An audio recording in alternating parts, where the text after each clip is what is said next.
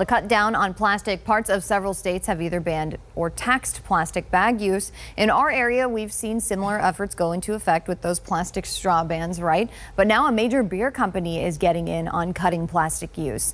Miller Coors says they're going to stop using plastic rings to hold their six packs together. They're not the first brewery to do this, though. Guinness switched to cardboard earlier this year, and in January, a Delray Beach brewery switched to biodegradable rings. But Miller Coors is the biggest brewery to make this switch.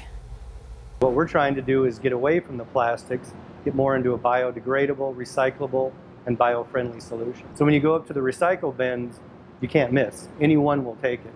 And the best part is it won't end up in the ocean because it will break down before then. So the company says the cost is higher compared to plastic, but they say it's worth it if it helps our environment.